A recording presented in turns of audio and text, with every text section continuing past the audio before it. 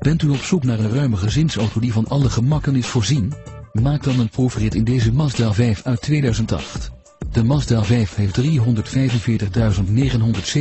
kilometer gereden.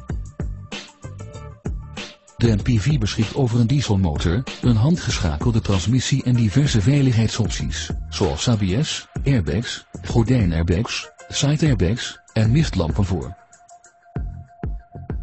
De auto is voorzien van metallic lak en is onder andere uitgerust met bumpers in carrosseriekleur, cruise control, navigatiesysteem, audio-installatie en een boordcomputer. Bezoek de showroom voor een complete indruk of neem contact op met een van onze medewerkers voor het maken van een afspraak.